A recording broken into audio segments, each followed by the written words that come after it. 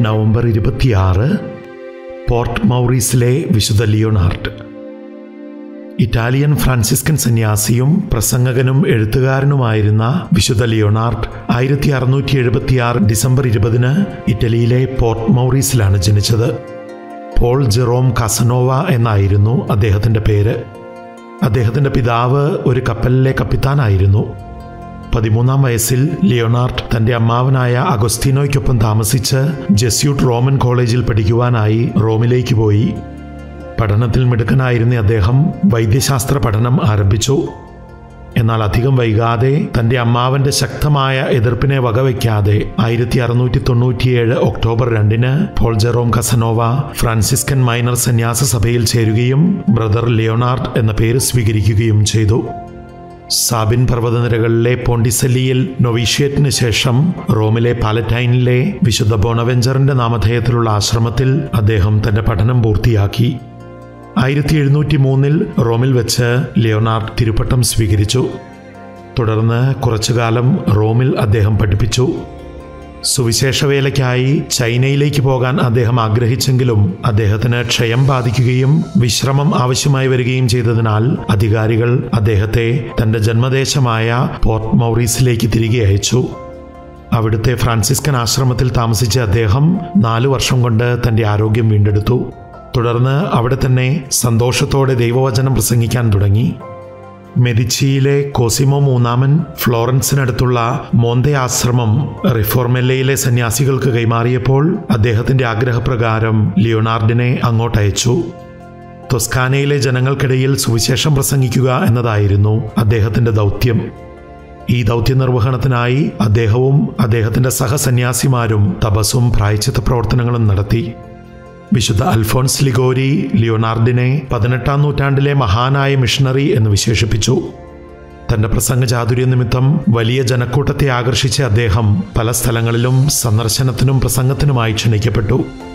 നാൽപ്പത് വർഷത്തോളം അദ്ദേഹം ഇറ്റലി മുഴുവൻ സുവിശേഷവേലകളും ധ്യാനങ്ങളും ഇടവകാപ്രേക്ഷിത ദൗത്യങ്ങളും നോമ്പുകാല പ്രഭാഷണങ്ങളും നടത്തി. തന്റെ സുവിശേഷ വേലയ്ക്കിടയിൽ പലപ്പോഴും പതിനഞ്ച് മുതൽ പതിനെട്ട് വരെ ദിവസങ്ങളോ ചിലപ്പോൾ അതിലധികം ആഴ്ചകളോ കുമ്പസാരിപ്പിക്കുന്നതിന് മാത്രമായി അദ്ദേഹം ചെലവിട്ടിരുന്നു. അദ്ദേഹം തൊസ്കാനിയുടെ അതിർത്തി കടന്ന് മധ്യ തെക്കൻ ഇറ്റലിയിൽ തന്റെ പ്രശസ്തമായ മിഷൻ പ്രവർത്തനങ്ങൾ ചെയ്യുകയും എല്ലായിടത്തും മതപരിവർത്തനം നടത്തുകയും ചെയ്തു. നഗരങ്ങളിലും ഗ്രാമങ്ങളിലും തുറസായ സ്ഥലങ്ങളിൽ പ്രസംഗിക്കാൻ അദ്ദേഹം നിർബന്ധിതനായിരുന്നു. കാരണം അദ്ദേഹത്തിന്റെ പ്രസംഗം കേൾക്കാൻ വന്നിരുന്ന ആയിരക്കണക്കിന് ആളുകളെ ഉൾക്കൊള്ളാൻ ദേവാലയങ്ങൾക്ക് കഴിഞ്ഞിരുന്നില്ല. ക്ലമന്റ് ഏഴാമൻ മാർപ്പാപ്പയും ബെനഡിക് പതിനാലാമൻ മാർപ്പാപ്പയും ഒരു മികച്ച പ്രഭാഷകൻ എന്ന നിലയിൽ അദ്ദേഹത്തെ പല ദൗത്യങ്ങൾക്കും റോമിലേക്ക് ക്ഷണിച്ചു. ബെനഡിക് പതിനാലാമൻ മാർപ്പാപ്പ ദുർഘടമായ പല ഡിപ്ലോമാറ്റിക് ദൗത്യങ്ങളും അദ്ദേഹത്തെ ഏൽപ്പിച്ചു. ജനോവയിലും ലൂക്കായിലും സ്പൊളെത്തോയിലുമൊക്കെ ഉണ്ടായ ജനകീയ പ്രശ്നങ്ങളിൽ മാർപ്പാപ്പ മധ്യസ്ഥനായി ലിയോണാർഡിനെ അവിടേക്ക് അയച്ചു. മാർപ്പാപ്പയുടെ പ്രതിനിധിയായി ഒരു കർദിനാളിനെ പ്രതീക്ഷിച്ച ആളുകൾ നിഷ്പാതുകനും വിനയാന്യതനുമായ ആ സന്യാസിയെ കണ്ടപ്പോൾ തങ്ങളുടെ അഹങ്കാരവും ശത്രുതയുമെല്ലാം മറന്ന് അനുരഞ്ജനത്തിന് തയ്യാറായി. ലിയോണാർഡ് അനേകം ഭക്തസമൂഹങ്ങൾ സ്ഥാപിച്ചു.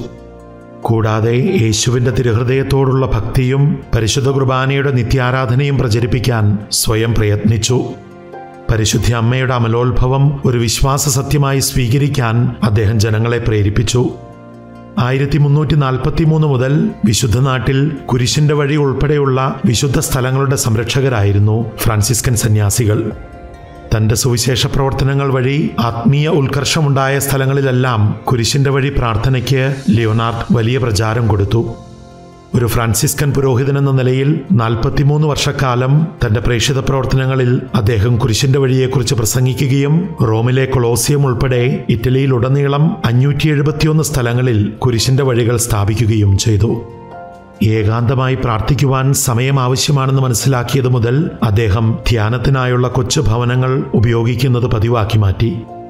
ഇറ്റലിയിലുടനീളം ധ്യാനത്തിനായി ഇത്തരം കൊച്ചു ഭവനങ്ങൾ പണിയാൻ അദ്ദേഹം വളരെയേറെ ഉത്സാഹിച്ചു. ബെനഡിക് പതിനാലാമൻ മാർപ്പാപ്പ ആയിരത്തി എഴുന്നൂറ്റി നാൽപ്പത്തിനാലിൽ കോർസിക്കയിൽ ഒരു സമാധാന ദൗത്യം അദ്ദേഹത്തെ പരമേൽപ്പിച്ചു. ആ ദൗത്യം വിജയകരമായി പൂർത്തിയാക്കാനും അവിടെ അച്ചടക്കം സ്ഥാപിക്കാനും അദ്ദേഹത്തിന് കഴിഞ്ഞെങ്കിലും അവിടുത്തെ രാഷ്ട്രീയ അധികാരികൾ അദ്ദേഹത്തിന്റെ സുവിശേഷ പ്രഘോഷണങ്ങൾക്ക് നിയന്ത്രണങ്ങൾ വെച്ചു. ക്ഷീണിതനായി റോമിലേക്ക് മടങ്ങി അദ്ദേഹം ആയിരത്തി എഴുന്നൂറ്റി അൻപത്തി ഒന്ന് നവംബർ ഇരുപത്തിയാറിന് റോമിലെ വിശുദ്ധ ബൊണവെഞ്ചറിന്റെ ആശ്രമത്തിലെത്തുകയും അന്ന് രാത്രി തന്റെ എഴുപത്തിനാലാം വയസ്സിൽ നിത്യസമ്മാനത്തിനായി വിളിക്കപ്പെടുകയും ചെയ്തു. ആയിരത്തി എഴുന്നൂറ്റി തൊണ്ണൂറ്റിയാറ് ജൂൺ പത്തൊൻപതിന് ആറാം പിയൂസ് മാർപ്പാപ്പ അദ്ദേഹത്തെ വാഴ്ത്തപ്പെട്ടവനായും ആയിരത്തി എണ്ണൂറ്റി അറുപത്തിയേഴ് ജൂൺ ഇരുപത്തിയൊൻപതിന് ഒൻപതാം പിയൂസ് മാർപ്പാപ്പ അദ്ദേഹത്തെ വിശുദ്ധനായും പ്രഖ്യാപിച്ചു. വിശുദ്ധ ലിയോണാർഡിന്റെ ഭാഗികമായി അഴുകാത്ത ശരീരം റോമിലെ വിശുദ്ധ ബൊണവെഞ്ചറിന്റെ ആശ്രമ ദേവാലയത്തിലെ പ്രധാന അൽധാരയിൽ സൂക്ഷിച്ചിരിക്കുന്നു. വിശുദ്ധരായ